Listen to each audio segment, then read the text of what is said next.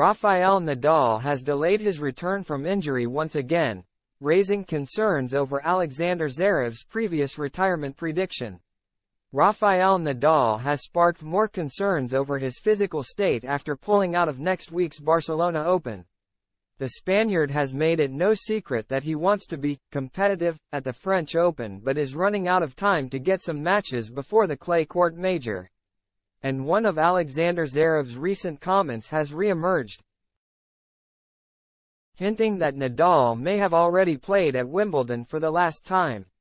Nadal has not played a match since January, when he got injured during his Australian Open second-round defeat to Mackenzie McDonald.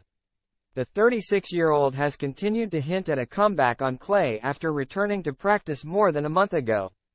But his return continues to be delayed, as the world number 15 pulled out of the Monte Carlo Masters before withdrawing from next week's Barcelona Open. It means there are now just two tournaments before the French Open begins, the Masters in Madrid and Rome. With Nadal's body continuing to cause problems, there are concerns over whether he can return to his top level or if he will keep being set back physically. And it means that a prediction from Zverev could come true, as the German previously claimed that the 14-time French Open champion would retire at Roland Garros this year. Unfortunately, I think Rafa will retire at Roland Garros. The 25-year-old told Eurosport in a 2023 predictions video. I don't want it to happen, but I think he will have a great tournament, potentially win it and say goodbye.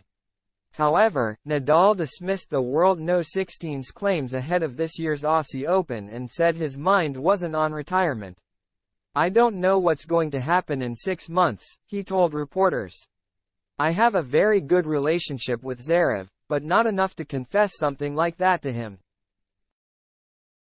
The reality is that I am here to play tennis, try to have a great 2023, fight for everything that I have struggled throughout my career and I don't think about my retirement.